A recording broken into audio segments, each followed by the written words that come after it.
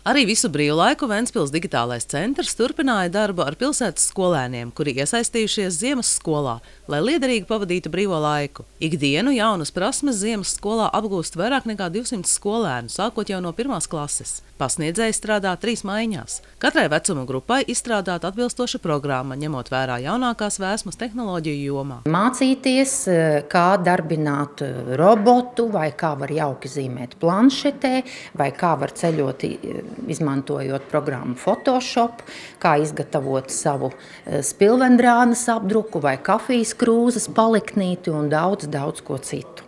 Nodarbībām noslēdzoties, katrs skolēns saņems apliecinājumu iegūtajām zināšanām. No 8. janvāra atsāksies mācības skolās.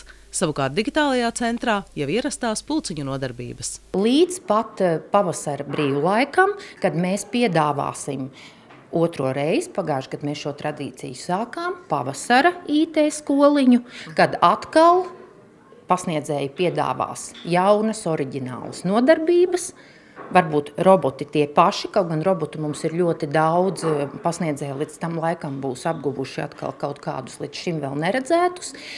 Vai, ja tās pašas programmas, tad kādā nebijušā versijā. Jūnijā digitālais centrs atvērs vasaras skolu, kura turpināsies divus mēnešus. Skolēnu vecāki varēs būt mierīgi, jo viņu bērni brīvo laiku pavadīs saturīgi.